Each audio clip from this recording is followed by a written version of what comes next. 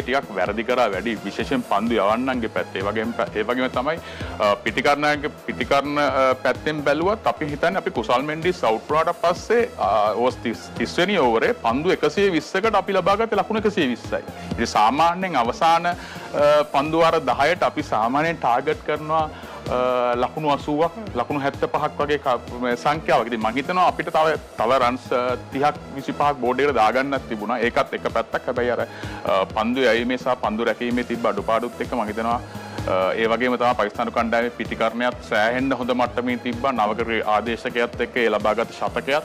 ඉතින් මම හිතනවා ඒ ඔක්කොම ගැබ් වෙලා තමයි අපි තරඟ පරාජයට පත් වුණේ. එකම දම්මික අපි කතා කරොතින් ඒෂයා කප් එක අපි අවසන් පර්ෆෝමන්ස් එක අපි සංසන්දනය කරොතින් එහෙම අපි දකිනවා කුසල් ඒ වගේම සදිර ඔවුන්ගේ උපරිමයෙන් කරනවා ක්‍රීඩාව පැත්තෙන් වෙන්න ඕනේ වගකීම් ටික. එතකොට දැන් අපිට ඉස්සරහට බලාපොරොත්තු හතක් එහෙම් පිටින් ඉතුරු වෙලා තියෙනවා. ක්‍රීඩා ලෝලින් හැටියට අපි ලෑස්ති නෑ ඒ බලාපොරොත්තු හත අතෑර ගන්න. අපිට බලාපොරොත්තු ඉහළින්ම තියෙනවා. එතකොට ඒ ස්ටාර්ටින් එක අපි ඊළඟ තරඟේ ඉඳන් ඔබ විශ්වාස කරන විදිහට අපි පටන් ගන්න ඕනේ කොතනින්ද?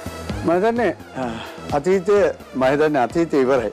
දැන් වර්තමානය අපි ජීවතෙන් ඕන වර්තමානය තුළ.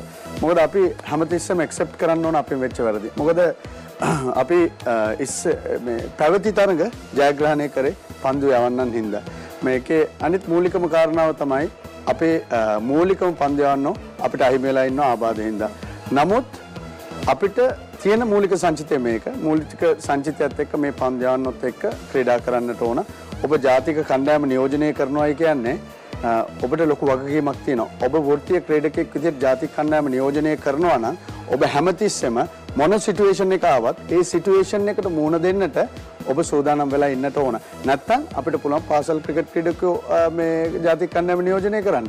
එතකොට මේකේ ජාතික කණ්ඩායම නියෝජනය කරද්දී වැරදි සිදු වුණොත් වැරදි අපි පුළුවන් තරම් අවම කරගන්න අපි බලා ගන්නට ඕන සහ අනිත් එක තමයි එක්ස්කියුසස් දෙන්නට බෑ.